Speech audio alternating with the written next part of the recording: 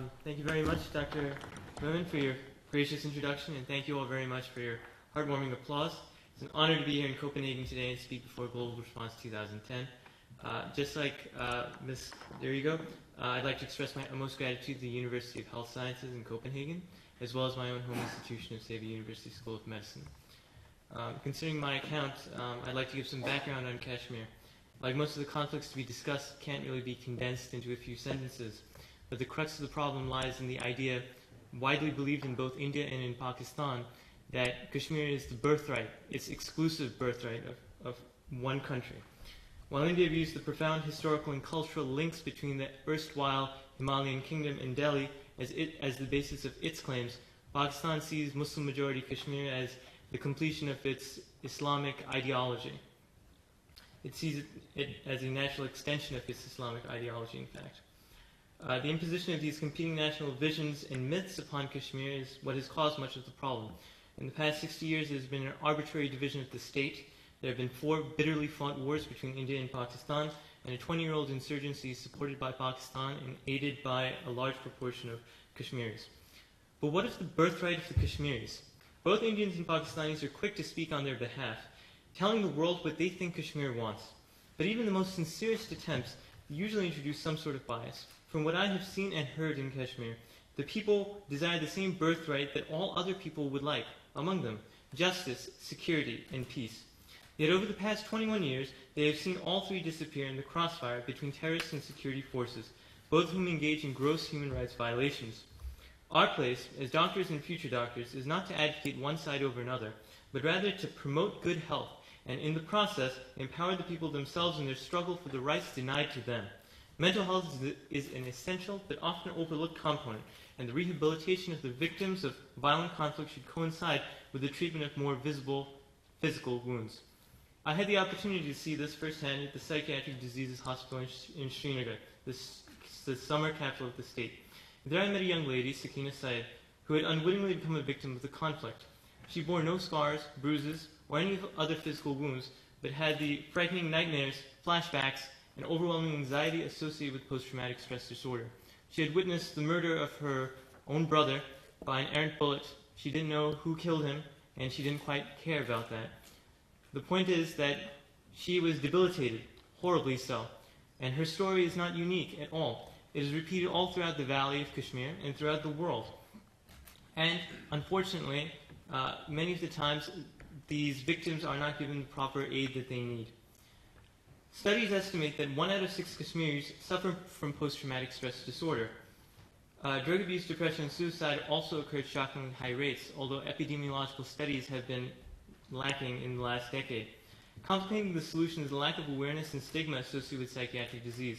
Mental illness is often perceived as a spiritual malady and is so often suppressed and concealed rather than being actually treated. Even after identification, those who are affected prefer visiting faith healers for fear of being somehow associated with the government that sponsors the hospital.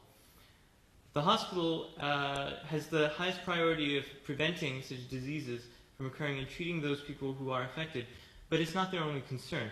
Poor health, particularly mental health, perpetuates the conflict itself.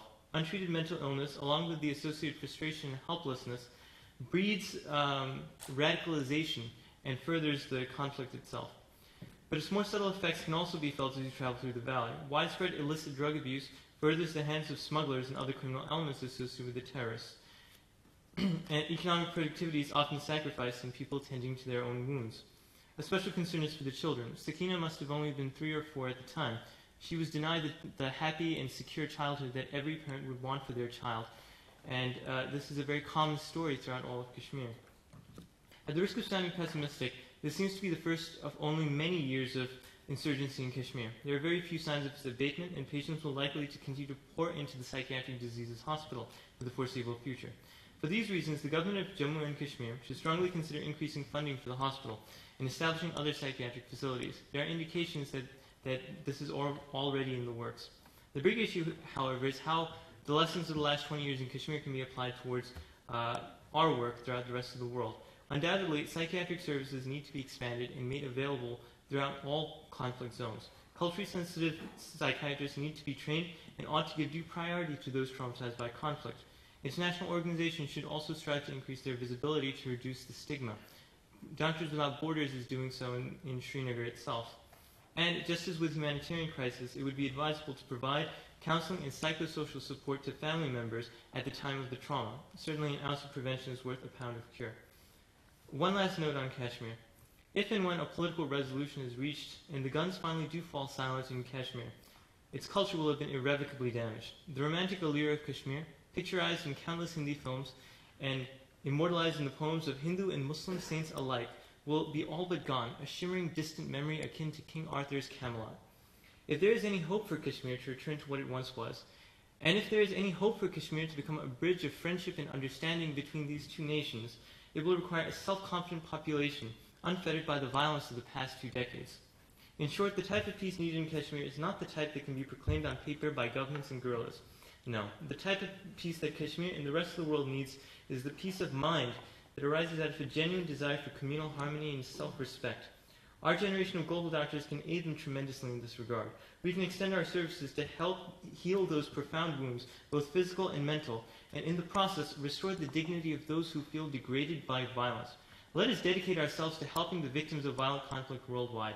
Let us dedicate ourselves to helping them reclaim those long lost cherished birthrights security, justice, and peace. Thank you. Peace throughout Kashmir and peace throughout the world.